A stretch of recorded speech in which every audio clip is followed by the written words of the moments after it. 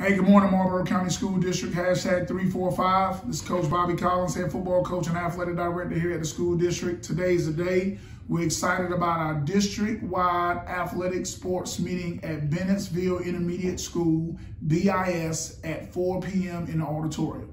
Again, this is our district-wide vaccination and athletic update that's going to be held at Bennettsville Intermediate School, BIS, at 4 p.m. in the auditorium.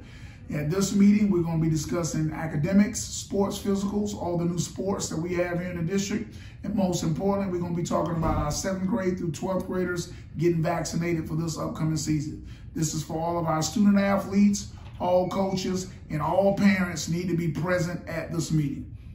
On August the 7th, we're really excited about us opening up our new state-of-the-art football stadium with our field turf. So on August the 7th, at 7.30 p.m., it's going to be a Saturday, we're going to have our ribbon cutting. And the entire community of Bennettsville needs to come out and support this really new action that we have going on in the district. So this is August the 7th, Saturday at 7.30 p.m. Please come out, roll around on the turf, and see the new great environment that we're going to have for our student athletes playing all our outside sports.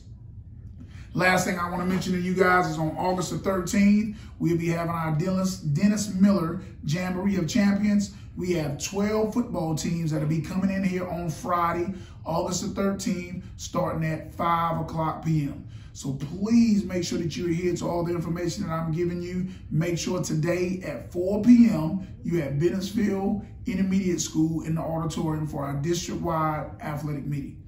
Have a great day and remember, hashtag 345. We love you, we care about you, we're here for you.